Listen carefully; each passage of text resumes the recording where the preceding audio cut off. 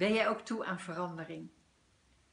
Ben jij er nou ondertussen wel spuugzat dat je denkt dat je op de goede weg bent, als er al een weg is, en dat je steeds vastloopt? Of wil je gewoon inzicht? Dat kan ook, hè? Gewoon inzicht in wie je bent. Mijn naam is Helen Leroy. Ik doe al mijn hele leven hetzelfde. En eigenlijk is dat ooit aangezwengeld toen ik 21 was. Zoeken, wie ben je?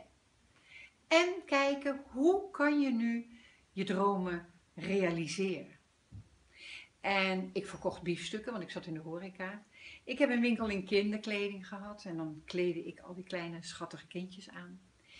Ik heb rijke cursussen gegeven, ik heb van alles gedaan en ik doe eigenlijk altijd hetzelfde. De rode draad is steeds hetzelfde. Wil jij daar nou meer over weten? Van hoe werkt dat, Helen? Dan gebruik ik altijd drie ingrediënten, noem ik het maar. En het eerste is, wie ben jij? Wie ben ik? Dat is een onderzoek.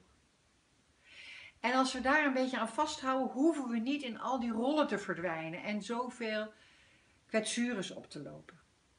Tweede is Nine Star Key. Een heel oud Chinees systeem wat werkt met de geboortedatum. En als we die geboortedatum hebben, dan kunnen we eigenlijk al heel snel zien wat is het talent, wat is het conflict in die code, of misschien wel helemaal niet. En dat helpt ons ook weer voor een klein beetje meer zelfinzicht. En het derde gaat over het creatieproces. Wat wil jij? Waar word jij blij van? En niet vanuit moeten, maar gewoon vanuit blijheid, vanuit vrij zijn.